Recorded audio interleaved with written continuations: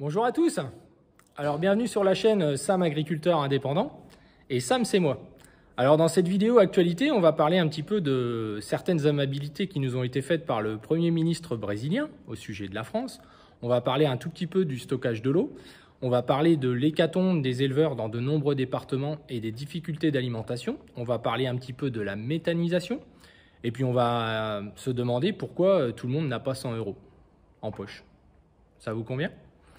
Alors déjà, pour commencer, vous dire que nous, sur la ferme, puisqu'on me demande régulièrement des nouvelles de, notre ferme, c'est vous dire qu'on n'a pas pris de flotte du tout, hein, on n'a pas reçu de millimètres. Donc pour l'instant, le Smith Colza, pour moi, est en stand-by.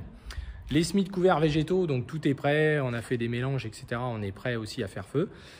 Mais on a aussi un deuxième problème, c'est qu'on a changé notre trémie avant, et donc euh, bah, je vous le donne en mille, on est en 2022, donc il manque euh, des câbles, il manque euh, des pièces en fait sur une trémie qui est là depuis le mois de mai.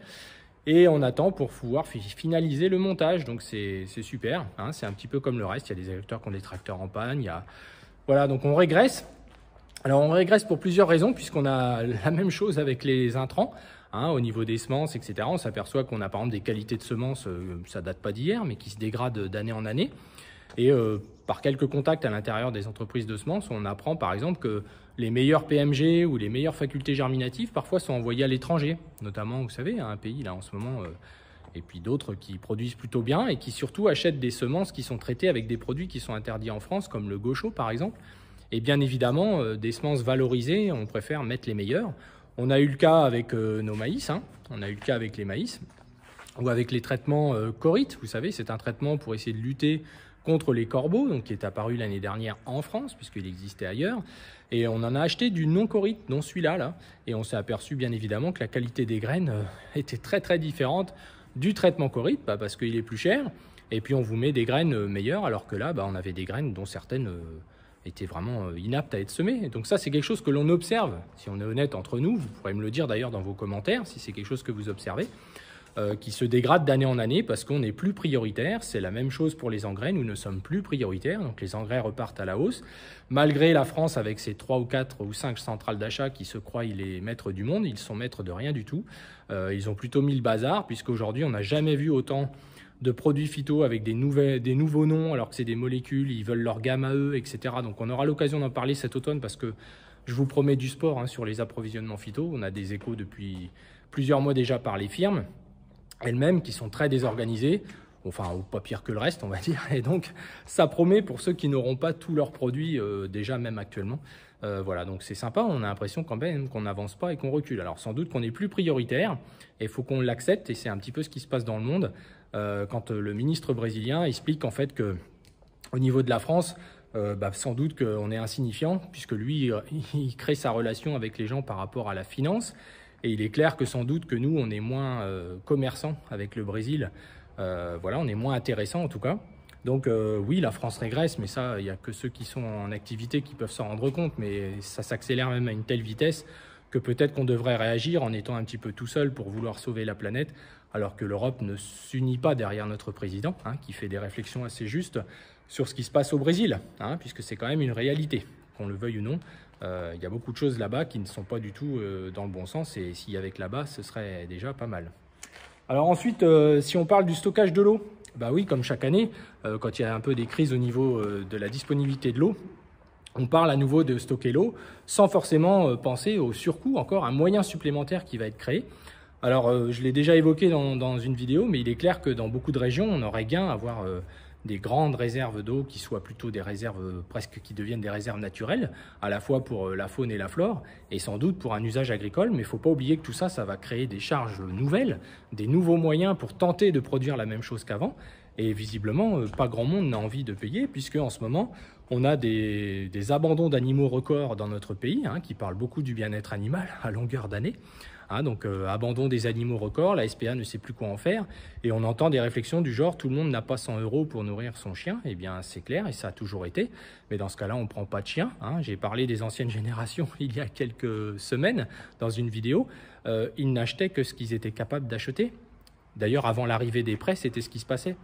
Aujourd'hui avec la dégradation globale des revenus agricoles, dans tous les secteurs et en particulier en élevage en ce moment, eh bien, il y a certains industriels de l'élevage qui tirent leur épingle du jeu pendant que les éleveurs on va dire, modérés, passionnés, etc., qui vont dans un sens d'équilibre et de taille de ferme modérée, etc., qui est pourtant le vœu pieux de beaucoup de représentants politiques, eh bien aujourd'hui, il y a des départements entiers qui sont en train de mettre la clé sous la porte, tout simplement, en termes d'élevage, hein, tout simplement parce que la nourriture n'est plus accessible, et aussi, et ça on ne le dit pas assez, mais je pense qu'il faut le dénoncer, il y a une concurrence aujourd'hui avec la méthanisation, d'ailleurs les éleveurs eux-mêmes ont mis la main dedans, en bon en bon industriel qui se respecte, ils se sont dit, bah voilà, on a du fumier, on ne sait pas quoi en faire, euh, nanana, du lisier, etc. On fait de la méthanisation, tout le monde y est allé la bouche en cœur, et puis bah, climatiquement, depuis quelques années, il y a une dégradation des résultats. On va tirer encore sur les sols en arrosant des plantes qui vont être destinées à la méthanisation et qui viennent concurrencer finalement hein, euh, bah, les maïs en silage, par exemple, qui aujourd'hui sont réclamés par des éleveurs. Ils réclament même dans certains départements que ces maïs destinés à la méthanisation reviennent dans l'élevage. Mais c'est trop tard, les gars. C'est trop tard. C'était avant qu'il fallait en parler. Et ça s'est fait à une telle vitesse. Nous, depuis 2016, euh, on parle de la méthanisation. 2019, on a fait une vidéo sur le sujet. Et quand on regarde aujourd'hui où est-ce qu'on est, euh, même nous, on n'aurait jamais pensé que ça aurait été aussi vite. Voilà. Et le climat vient montrer que tout ça ne tient pas la route. En tout cas, sans intensification supplémentaire sur le sol et sans une élimination pure et simple des éleveurs, en tout cas ceux qui sont à taille modeste et qui n'ont pas de méthanisation justement à côté, puisque pour certains c'est ça qui va les tenir debout sans doute. Donc c'est vraiment, c'est minable, moi je vous avoue, ça m'écœure même en se demandant si tout ça c'est bien logique, si c'est bien cohérent avec tous les discours ambiants. Euh, donc voilà, donc on a la même chose avec les betteraves, hein, où certains continuent à faire de la betterave uniquement parce qu'ils récupèrent la pulpe pour la méthanisation. C'est aussi une réalité dont pas grand monde ne parle, donc ils sont bien rentrés en concurrence avec les éleveurs. Alors après, il y a tous les déchets de carottes ou de, légumes. Hein. Il y a des usines comme ça qui traitent les légumes. Bah, finalement, on donne ça à, manger aux vaches. On en est arrivé là aussi. Donc c'est un petit peu le paradoxe. Alors euh, voilà, je vous dirais que tout ça, c'est pas bien glorieux et euh, ça pose quand même des questions sur l'avenir. Et euh, beaucoup d'agriculteurs en ce moment sont vraiment dans des grosses interrogations puisqu'il y a Certains industriels qui, eux, ont semé quelles que soient les conditions, et les concessionnaires peuvent le dire, hein, des fois dans des conditions inaptes au bon fonctionnement même des matériels, euh, ou sans GPS, les gars ne voyaient même pas où ils travaillaient, donc c'est pour vous dire dans quelles conditions. Les colzas sont semés, certains ont eu la chance d'avoir la petite pluie qui va faire que ça commence à rayonner, les altises aussi sont déjà présentes. Et euh, il y a cette espèce de course folle à toujours plus, toujours plus tôt, toujours finir par section de 5 à 8 jours, c'est-à-dire... Euh, voilà, on doit semer, ça ne doit pas durer plus de 5 jours, la moisson, ça ne doit pas durer plus de 5 jours, etc. Et du coup, on a des mises en place de moyens de plus en plus importantes pour des résultats qui ne sont pas forcément à la hauteur. Alors si certains tirent leur épingle du jeu, c'est pas forcément en ayant une ligne de conduite euh, environnementale des plus vertueuses. Et c'est bien ce qui pose question à beaucoup d'agriculteurs et beaucoup de nos partenaires qui ont quand même cette ligne de conduite-là, comme beaucoup d'entre vous, je le vois dans vos commentaires. Et on est quand même en droit de se demander si jusqu'où on va aller. C'est-à-dire, euh, voilà, il y a eu des semis faits au 28 juillet. Là, euh, là, je pense que les blés, euh, tout le monde se dit ah mais il va tomber sûrement de la pluie pendant plusieurs mois. Donc je, pense qu'au 15 septembre, pourquoi pas démarrer à semer du blé aussi. Et après, on s'étonne qu'on a des problèmes techniques, etc. Donc pour moi, il y a, a, plus de bon sens. On est complètement parti dans une dimension de panique. D'ailleurs, beaucoup d'entre vous nous contactent par téléphone en nous disant qu'ils sont un peu perdus ou qu'ils se posent beaucoup de questions. C'est un peu la même chose dans les commentaires. Il y a plus de questionnements que de gens qui... Voilà.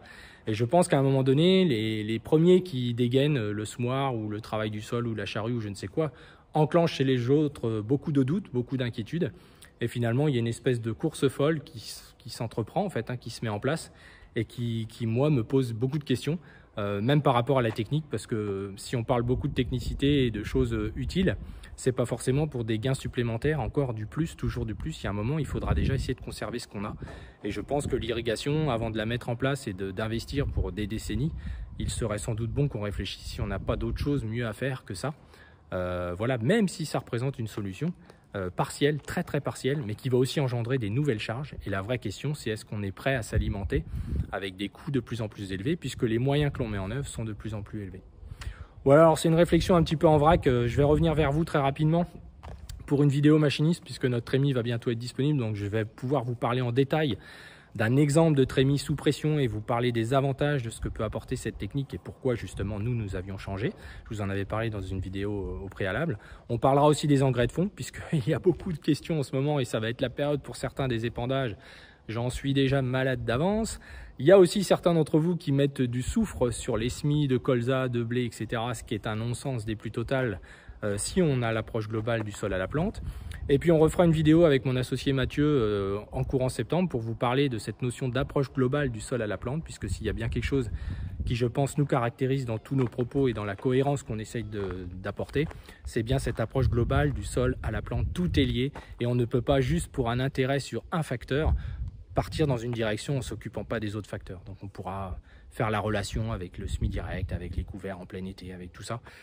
Et voilà, ce qu'il faut essayer de faire, c'est de la cohérence. Après, le reste, je vous laisse entre les mains de, tous les nouveaux gourous, faiseurs et autres qui justement ont des avis euh, très rapides sur euh, des belles théories, parfois même en sortant des études qui ont plus de 15 ans et en nous expliquant que c'est comme ça qu'il faut faire, alors que beaucoup d'agriculteurs ont déjà du mal, tout en continuant à travailler aussi bien qu'ils le faisaient avant, à sortir des résultats qui soient cohérents. Donc il ne faut pas oublier que quand il n'y a pas de pluie, quel que soit ce que disent les gens, euh, de toute façon il n'y a pas de vie et on ne fait pas de plantes sans eau et il n'y a personne qui sait faire ça, c'est n'importe quoi.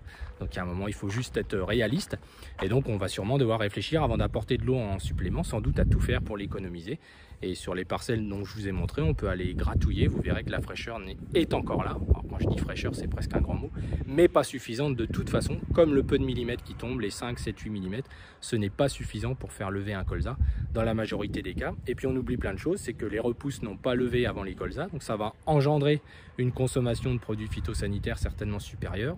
On voit que les premières levées sont déjà avec des présences de piqûres d'altise et c'est pas les conditions météo annoncées la semaine prochaine qui vont améliorer cet état de fait. Des grosses altises nous en voyons dans les betteraves nous déjà depuis plus d'un mois et demi. Hein, donc c'est un, un, insecte qu'on voit presque toute l'année maintenant, des plaies à certains qui font semer les gens de plus en plus tôt.